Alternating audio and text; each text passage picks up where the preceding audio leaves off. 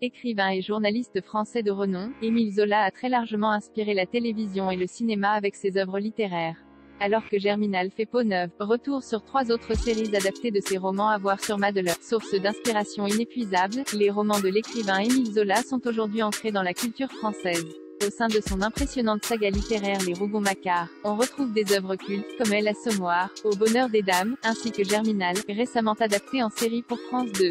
Alors que cette nouvelle version du roman incontournable de Zola sur les conditions de vie de la classe ouvrière à la fin du 19e siècle sera bientôt diffusée à la télévision, trois autres séries adaptées de ses écrits sont à revoir sur la plateforme Madelon.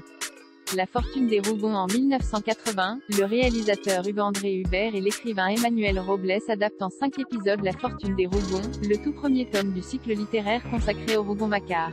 Cette œuvre majeure présente les origines de cette fameuse histoire naturelle et sociale d'une famille sous le Second Empire, déployée au fil de 20 romans publiés entre 1871 et 1893. Madeleine Robinson incarne Adélaïde Fouque, la matriarche de cette famille dont l'histoire débute dans la petite ville de Plassans. De son union avec le jardinier Rougon naît un fils prénommé Pierre, joué par Christian Barbier.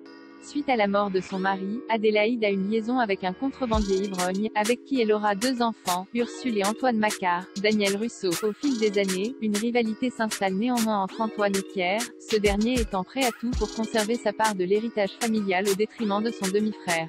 Grâce à la série La Fortune des Rougon, découvrez les prémices de la fresque romanesque d'Émile Zola. Nana Les séries adaptées des romans de Zola sont aussi l'occasion de découvrir certains acteurs français à leur début. En 1981, Véronique Jeunesse, interprète inoubliable de Julie Lescaut, décroche son premier grand rôle dans la série Nana réalisée par Maurice Cazeneuve. De son vrai nom Anna Coupeau, la comédienne et courtisane est elle aussi l'une des nombreuses arrière-petites-filles d'Adélaïde Fouque. L'histoire de ses parents, Gervaise Macquart et Coupeau, est d'ailleurs au cœur du récit de Elle Assommoir. Lorsqu'ils découvrent la jeune femme sur les planches du théâtre de la Renaissance, les journalistes, aristocrates et autres spectateurs de renom en restent bouche bée. Qui est donc cette nouvelle coqueluche du tout Paris, si mystérieuse? Découvrez son histoire dans Nana, la série qui a révélé Véronique Jeunesse au public, sur la plateforme Madelon. Au bout huit ans avant de réaliser La fortune des Rougon, Hubert-André Hubert s'était déjà attelé à l'adaptation d'un autre roman de cette œuvre incontournable, Cobouille. En cinq épisodes, découpés en sept sur la plateforme Madelon, il met en scène le quotidien des locataires d'un immeuble bourgeois dans le Paris du Second Empire. Son héros, Octave Mouret, Roger Vanoul, est le petit-fils de Pierre Rougon et Ursule Macquart, et par conséquent l'arrière-petit-fils d'Adélaïde Fouque.